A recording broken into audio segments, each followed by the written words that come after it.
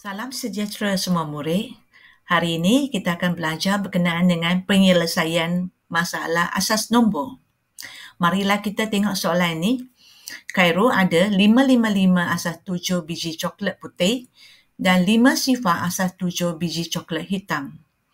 Dia menyediakan 3 sifar asas 5 kotak untuk memasukkan satu sifar-sifar asas 5 biji coklat tersebut ke dalam setiap kotak. Adakah dia mempunyai bilangan coklat yang mencukupi untuk dimuatkan di dalam tiga sifar asas lima kotak itu? Marilah kita tengok penyelesaian dia. Mula-mula kita kena menentukan jumlah berapa coklat. Jadi jumlah coklat ialah 555 asas 7 tambah dengan 5 sifar asas 7. Jadi jumlah dia ialah 635 asas 7.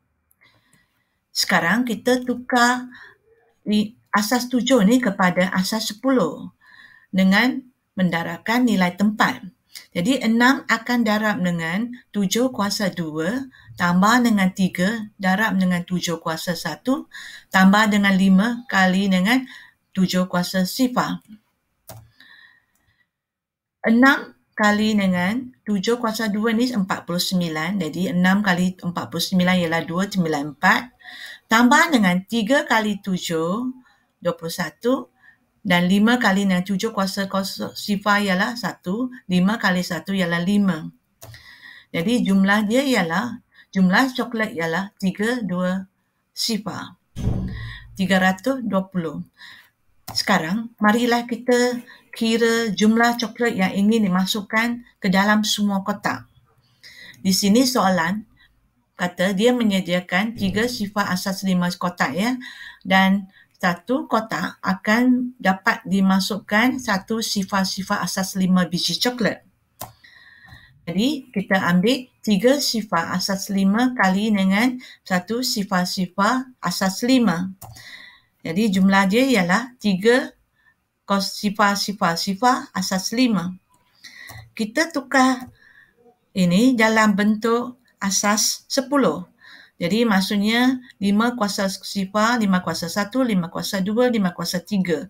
Jadi 3 kali dengan 5 kuasa 3, jadi kita akan dapat 375 sebab 3 kali dengan 5 kuasa 3 ialah 125.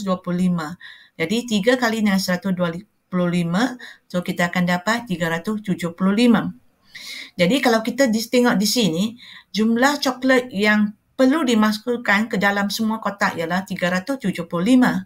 Tapi Cairo ada ialah hanya 320. Jadi maksudnya adakah dia mempunyai bilangan coklat yang mencukupi untuk dimasukkan dalam kotak itu? Jadi jawapan dia Cairo tidak mempunyai coklat yang cukup kerana kekurangan 55 biji coklat. Jadi kita ambil 375 tolak dengan 320, kita akan dapat 55 biji. Baik, kita tengok soalan yang kedua. Mutu membeli sebuah mesin basuh. Dia membayar wang pendahuluan sebanyak RM264 asas 9. Manakala baki dia dibayar secara ansuran sebanyak RM5 sifar asas 9 sebulan selama setahun.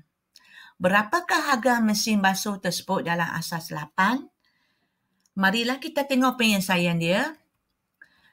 Yang kita tahu bahawa satu tahun ialah 12 bulan.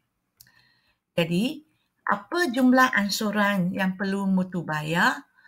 Jadi, dia perlu bayar 5 sifar asas 9 tu kali dengan 12 ya. Jadi kita tukar 5 sifar asas 9 ni kepada asas 10. 5 ni kali dengan 9 kuasa 1. Jadi 45 kali 12. Jadi uh, jumlah ansuran ialah RM 540 dalam asas 10 ya. Okey, sekarang kita nak tahu harga mesin basuh itu. Jadi sama dengan deposit dia. Deposit ni sama uh, maksudnya dengan wang pendahuluan. Jadi wang pendahuluan di sini ialah 264 asas 9 tambah dengan jumlah ansuran. Eh. So 264 asas 9 tambah dengan 540. Jadi kita, kita akan tukar 264 asas 9 itu kepada asas 10. dengan mendarabkan nilai tempat. 2 darab dengan 9 kuasa 2 tambah dengan 6 darab dengan 9 kuasa 1 tambah dengan 4 darab dengan 9 kuasa sifar. Ya, lepas tu baru tambah dengan 540.